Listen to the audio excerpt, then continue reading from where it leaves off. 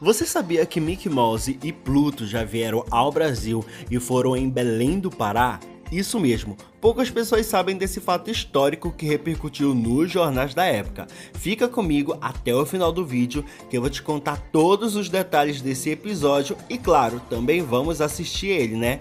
E para você que é novo aqui no canal, desde já seja muito bem-vindo ou muito bem-vinda e não se esqueça de se inscrever e também ativar as notificações para ficar por dentro de todas as novidades aqui do canal. E para você que não me conhece, meu nome é Gerson Santos e eu sou paraense.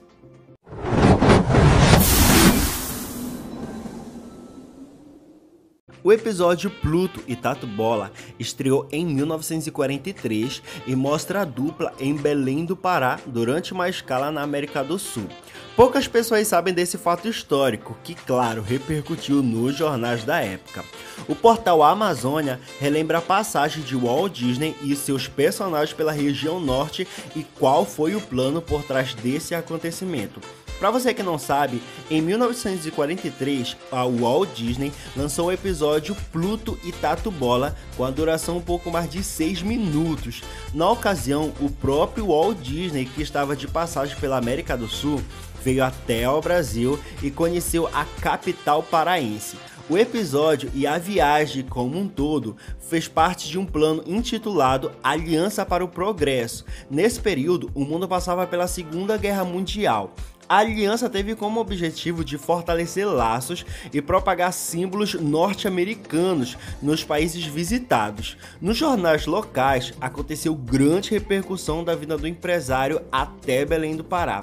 Ele esteve na rádio e na época relatou sobre a sua estadia na cidade, que disse ter adorado essa é uma foto do jornal da época que mostra o Walt Disney em Belém do Pará. O episódio mostra uma visita rápida de Mickey e Pluto a Belém. Quando os dois descem à cidade durante uma escala para passar o tempo, Mickey joga uma bola para Pluto pegar mas o cachorro acaba conhecendo um tatu-bola, iniciando uma aventura na cidade que termina em um acidental crime de tráfico de animais. Além disso, a animação conta com uma trilha sonora bem brasileira, com algumas referências típicas como a visão dos rios, a vegetação, a fauna e a flora, e também do aeroporto de Valdecães, da qual Pluto entra para procurar a bola, e também o famoso sino que avisava que os embarques naquela época. E para você que ficou curioso, vamos ver o trecho do episódio que Belém é apresentada para o mundo ver.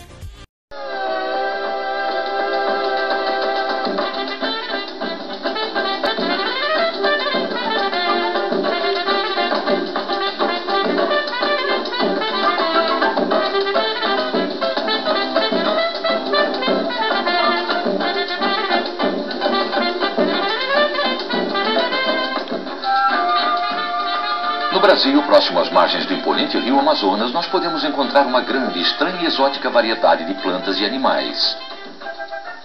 Por exemplo, esta cesta de formato estranho de... Oh, na verdade, este é um mamífero da família dos dasipodídeos, mais conhecido como tatu, ou melhor, tatu-bola.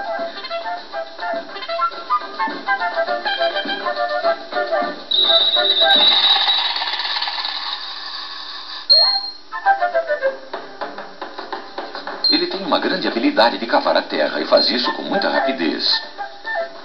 Assim, uma hora ele está em sua casa debaixo da terra e outra hora ele está em cima dela. O pequenino tatu é uma criatura muito tímida e qualquer barulhinho que ele escute, até mesmo o som de um alfinete caindo, ele se enrola como uma bola, ficando duro como um osso e, por que não dizer, um osso duro de roer. Ao certificar-se de que o caminho está limpo, ele se desenrola e segue o seu caminho. Nessa mesma região, podemos encontrar também uma outra criatura igualmente estranha, o tão conhecido turista. Escala em Belém do Pará. Os passageiros têm apenas 15 minutos. Vamos, Pluto, estique as pernas. Isso mesmo. Agora sim, amiguinho. Ei, vai buscar fruta. Pegue. Voo número 4 para o Rio de Janeiro. Atenção todos os passageiros. Pluto! Ei, Pluto! Atenção todos os passageiros. Última chamada. Pluto!